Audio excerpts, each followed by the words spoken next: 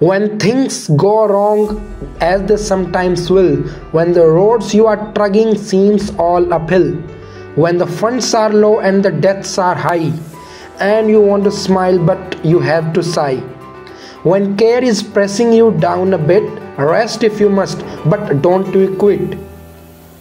Life is strange with its twists and turns, as every one of us sometimes learns and many failures turn about when we might have won had we stuck it out. Don't give up though the pace seems slow. You may succeed with another blow. Success is failure turned inside out, the silver tint of cloud of doubt.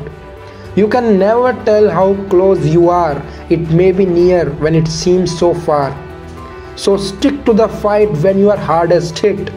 It's when things seems worst then you must not quit